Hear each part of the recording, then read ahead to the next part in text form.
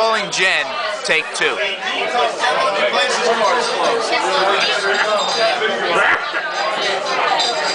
As you can see, as exciting as take one. You know who's a lane vice president? Levi P. Morton, who I bet Joel related to. 6.30, Dean quotes Levi P. Morton. Please Google Levi P. Morton. Who the fuck is Levi P. Morton?